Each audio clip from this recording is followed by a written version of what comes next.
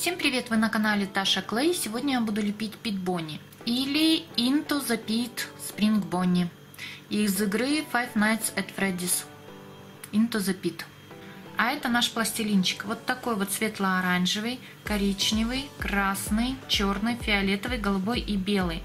Вот такой вот цвет я получила, смешав желтый с оранжевым цветом.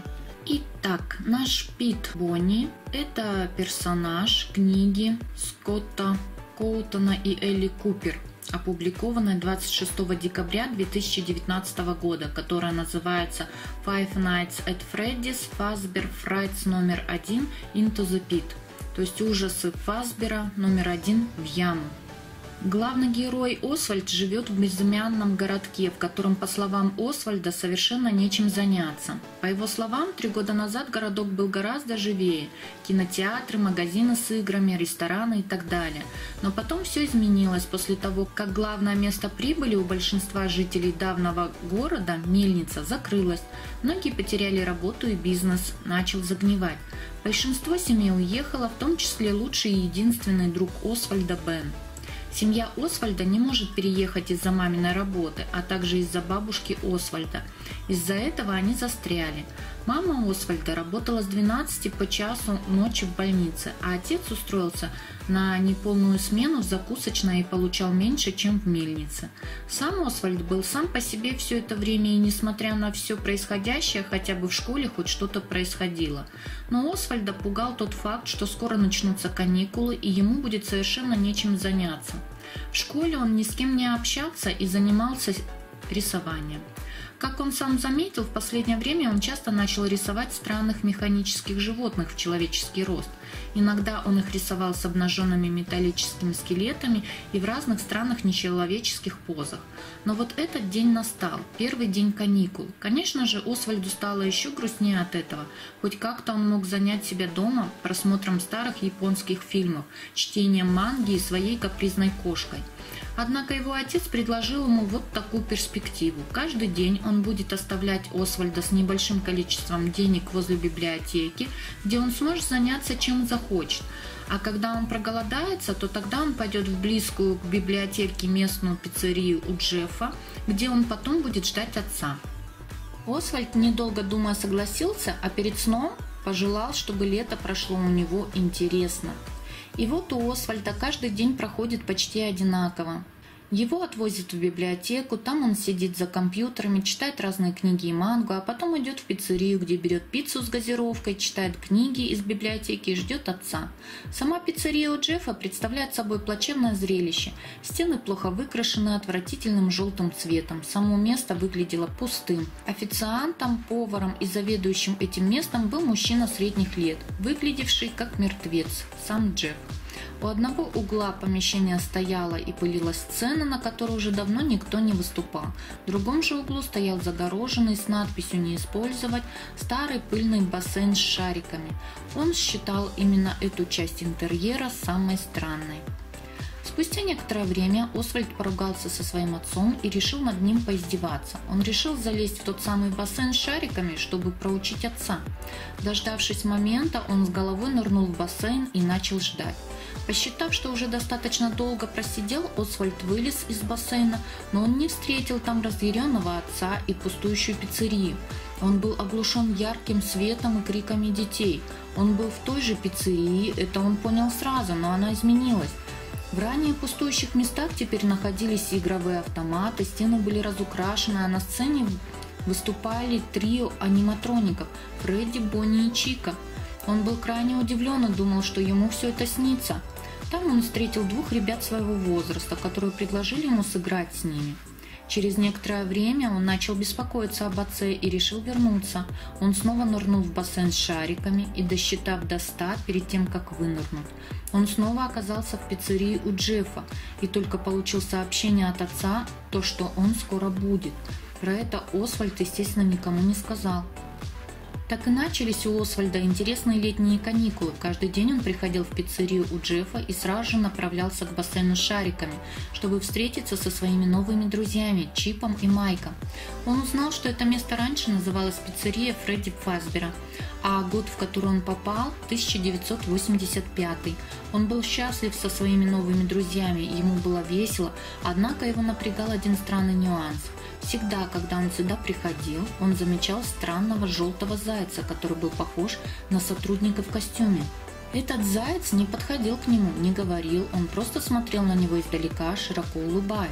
Этот заяц пугал Освальда, но раз уж его никто не замечал, то и он пытался. И все же был еще один случай, который Освальд так и не смог объяснить. Когда он в один день своего визита упомянул, что у него нет денег, и он считает, что пользуется щедростью ребят, его карман заполнился фаз-жетонами 1985 года выпуска. Но Освальд не придал этому значения и просто повеселился с ребятами. Но в один день все изменилось. Он начинался обычно, и Освальд делал то, что делал всегда – он пришел в пиццерию, нырнул в бассейн шариками и досчитал до ста. Но когда он вынырнул, то все было не так, как раньше. Он слышал крики, но не радости, а страха. Дети взрослые бежали к выходу, крича и толкаясь. Освальд не понимал, что происходит, и он не мог найти Чипа и Майка. Поэтому он решил пойти в противоположную сторону от толпы. Он хотел быть уверен, что друзья его в порядке. На той стороне он увидел того самого парня в костюме желтого кролика. Тот стоял у двери с табличкой «Приватная» и, словно маня Освальда пойти за ним, зашел внутрь. Освальд же незамедлительно пошел за ним. Пройдя по тесному коридору вслед за кроликом, они дошли до комнаты для вечеринок, где Освальда ждал очень неприятное зрелище. Шесть мертвых детей лежали возле стены в ряд – Кролик так и ничего и не сказал, но Освальд знал, что кролик хотел, чтобы Освальд увидел это, а возможно стал следующим. Освальд начал бежать к бассейну, а кролик побежал за ним по пятам. И только он начал касаться его спины, Освальд нырнул в бассейн шариками и начал нервно считать до ста, а потом вылез пиццерии его ждал рассерженный отец и недовольный Джефф. Отец вытащил Освальда из бассейна и начал отчитывать. И как только он заглянул в бассейн, огромная желтая рука схватила и утащила его. Через некоторое время из бассейна вылез желтый кролик с улыбкой на лице. Отец Освальда так и не вышел. Желтый кролик быстро схватил Освальда и направился к выходу. Освальд ждал, что Джефф что-либо предпримет, но тот выглядел так, как будто это нормально. Кролик посадил Освальда в машину его папы, завел ее и поехал. Освальд был уверен, что это существо умело водить. Он начал задавать вопросы кролику, но тот даже звука не издал. Они приехали к дому Освальда, что еще сильнее сбило его с толку, но он решил сразу сбежать домой, как только они остановятся. Но кролик каким-то образом оказался уже у двери. Он открыл дверь, затолкал Освальда внутрь и зашел сам.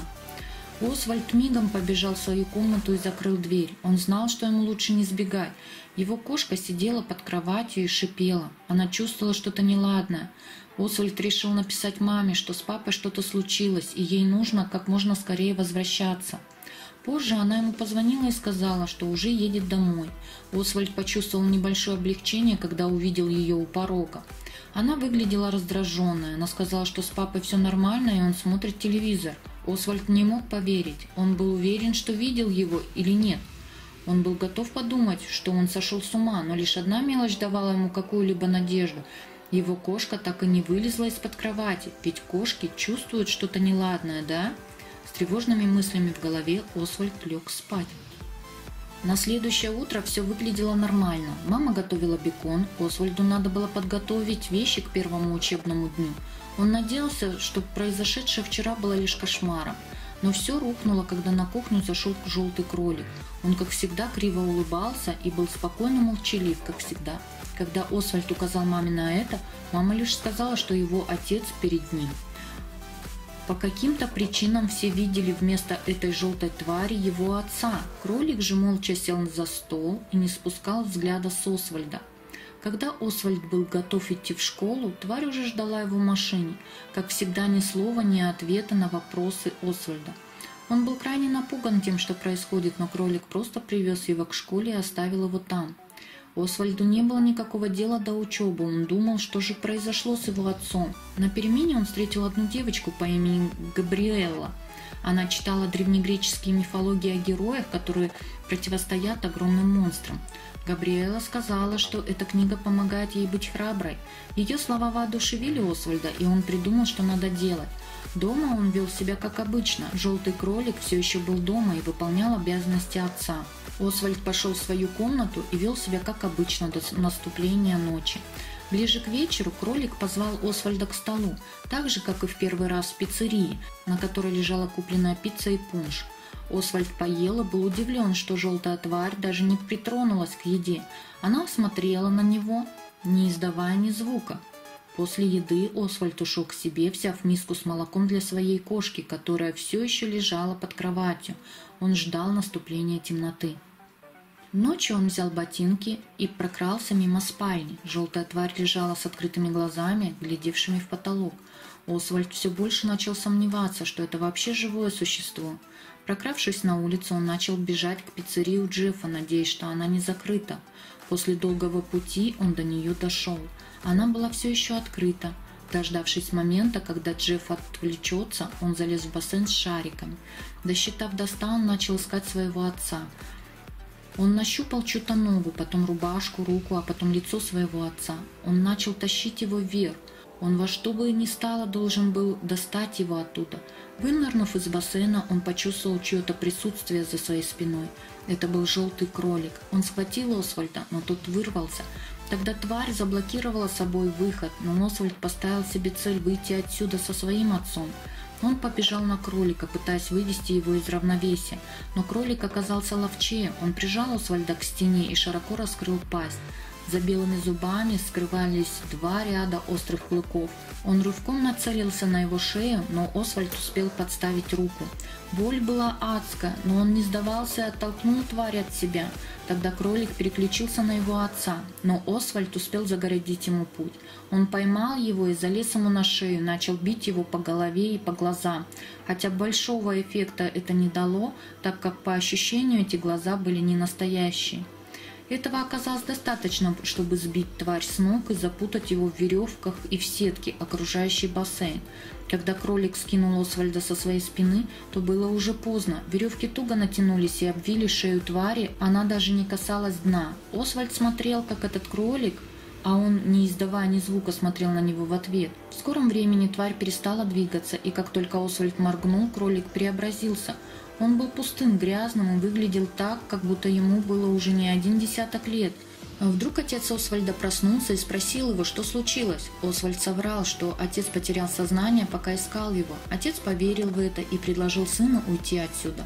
Он заметил рану на предплечье сына и повесившегося кролика и спросил, что это. Насчет раны Освальд соврал, что поцарапался. Насчет кролика ответил честно, не знаю.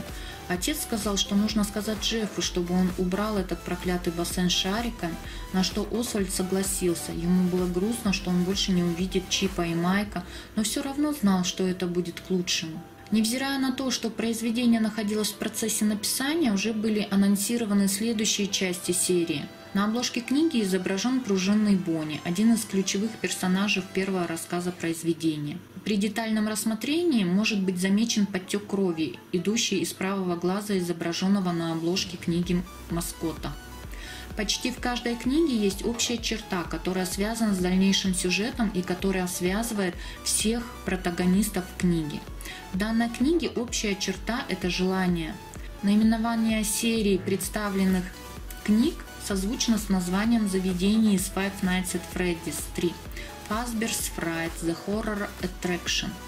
Изначально к книге предполагалось содержать иллюстрацию от леди Физзи, однако они были вырезаны, так как издательство могло предложить лишь черно-белую печать, чем Скотт не был доволен.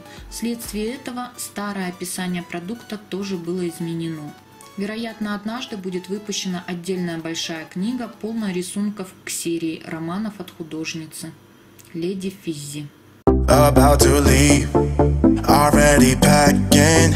Come with me, I'm not really asking.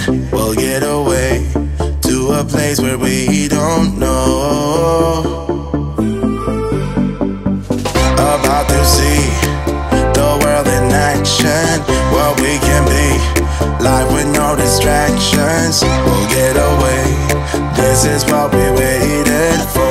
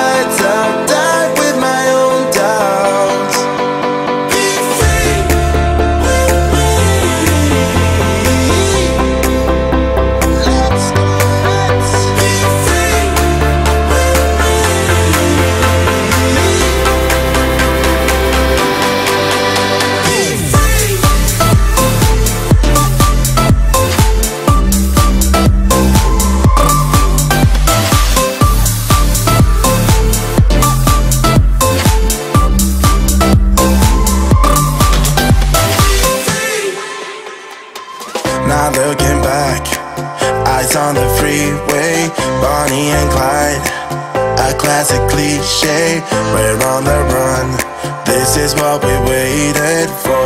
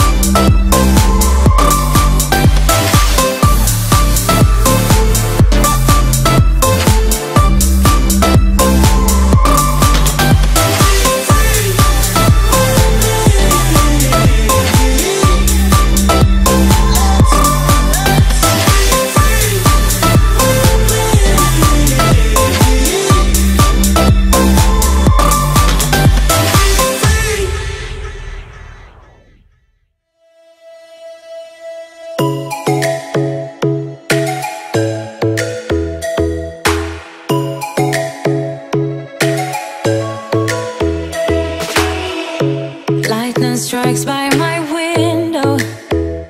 Hits my chest right in the morning.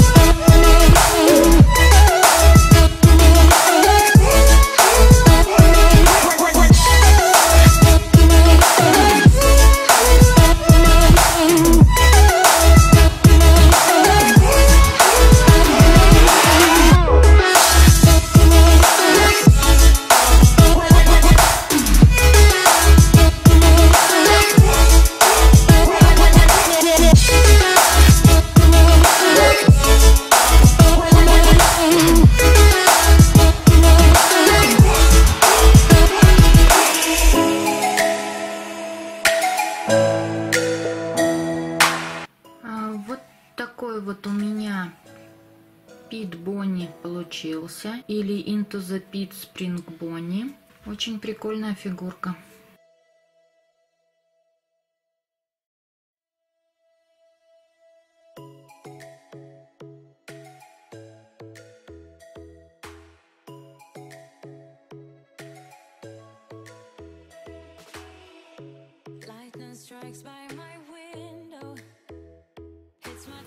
Ну а привет в этом видео хочу передать каналу Тама Королева Прайда, Солнце и Коты-Воители. Тебе огромный привет! Ну а если вам понравилось это видео, ставьте лайки, подписывайтесь на канал Таша Клей, не забывайте нажимать на колокольчик, чтобы не пропустить мои новые видео. С вами была Таша, всем пока-пока!